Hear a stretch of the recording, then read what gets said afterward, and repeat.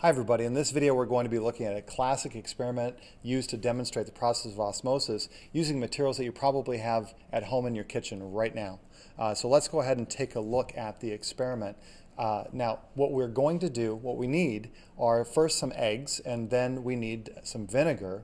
Uh, now the vinegar is really important for this demonstration because the vinegar is going to be used to break down the shell of the egg. So go ahead and put, uh, put your eggs in a cup, add in some vinegar, and uh, once you do this, you'll actually see evidence of a chemical reaction starting to happen right away. If you look at the edge of the eggs, right on the outside edge of the shell, you'll actually see this reaction. You can see bubbles forming on the eggshell. Those bubbles are telling you that the reaction has um, kicked into high gear and the eggshell is being broken down.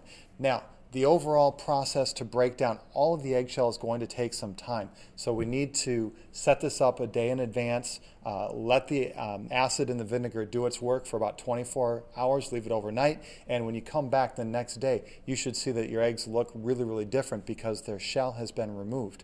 Um, and let's look at that. We can actually see that I'm able to squeeze this egg because the shell has been removed.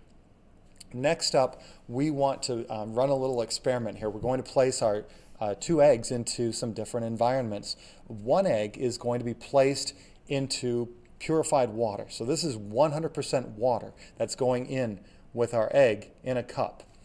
The other egg we want to place into a very different environment that does not have 100% water. So we're going to use syrup, which has some water and then quite a bit of sugar. So we can see that the syrup is being added into the egg. And um, we want to see what kind of effect will these two different environments have on our egg. So we see here, this is the egg in the water, here's the egg in the syrup. We can actually uh, make some inferences about the density of the two different liquids because the egg is floating in the syrup and sinking in the water. Once again, we need to wait 24 hours and then look and see what happens to our eggs. Here's that egg which had been placed into the purified water. You can see it looks nice and plump. Now, take a look at the egg that was placed in the syrup overnight. My goodness, it looks really, really different, doesn't it? And this change, this difference, is due to the process of osmosis. I thought it'd be fun to dissect the egg so we can cut into the egg that was placed into the purified water. And then I also thought, let's cut into the yolk and just see what that yolk looks like. Uh, again, this was the egg which had been placed overnight in the purified water. We can see that the yolk looks pretty normal. Uh, next up, once I'm done here, we're going to take a look at that egg which had been placed in the syrup overnight.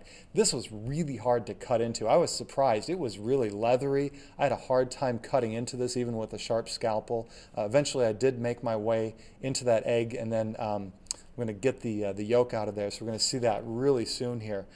These are major differences that we're seeing in the eggs. It's due to the process of osmosis. I'll be posting another video to explain the science behind uh, all the different steps of this experiment and the re uh, reason why the outcomes turned out the way that they did. Um, you can see the yolk is really hard here. Again, it was really tough to cut into. Um, very, very different consistency from the first egg that we looked at. Um, so this is uh, you know, been a look at, again, that classic experiment looking at the osmosis of water in or out of eggs uh, when those eggs are placed into two different environments.